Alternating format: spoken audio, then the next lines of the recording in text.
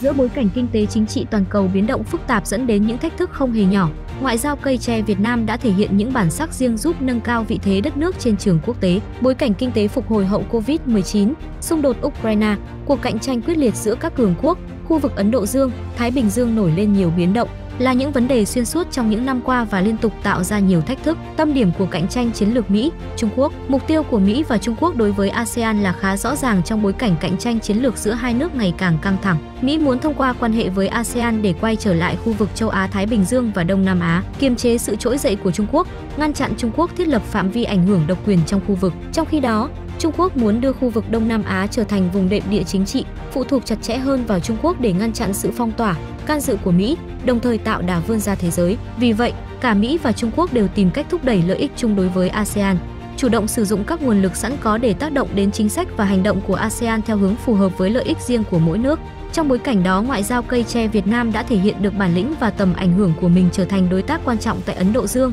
Thái Bình Dương. Việt Nam đã trở thành đối tác quan trọng tại Ấn Độ Dương, Thái Bình Dương mà nhiều quốc gia muốn tăng cường hợp tác trong các lĩnh vực thương mại, phát triển, an ninh và ngoại giao. Việt Nam tiếp tục được coi là một nền kinh tế quan trọng để đầu tư. Các quốc gia như Nhật Bản và Hàn Quốc cung cấp vốn ODA và FDI cho Việt Nam trong nỗ lực đa dạng hóa có chọn lọc việc chuyển dịch chuỗi cung ứng. Thực tế như vậy, trong chuyến thăm cấp nhà nước đến Việt Nam vừa qua, khi gặp gỡ 300 người đại diện cộng đồng người Hàn Quốc đã và đang sống, làm việc tại Việt Nam, Tổng thống Hàn Quốc Yoon suk yeol đã nhấn mạnh Việt Nam là quốc gia có vai trò quan trọng với Hàn Quốc trong việc xây dựng một khu vực Ấn Độ Dương-Thái Bình Dương tự do, hòa bình và thịnh vượng. Hình ảnh các nước G7 hoan nghênh lãnh đạo Việt Nam tham dự hội nghị thượng đỉnh gần đây ở Hiroshima, Nhật Bản để phát triển đời sống hợp tác trong các lĩnh vực phát triển giữa các bên. Chứng kiến Việt Nam tăng cường hợp tác trong lĩnh vực an ninh và các quan hệ đối tác khác dựa trên nguyên tắc 4 không của Việt Nam. Việt Nam đang được quốc tế chú ý nhiều hơn nhờ vị trí địa chiến lược ở Đông Nam Á, Mỹ, Ấn Độ, Nhật Bản và bây giờ là Hàn Quốc đang tích cực tăng cường ảnh hưởng vào Đông Nam Á theo chiến lược Ấn Độ Dương-Thái Bình Dương mới,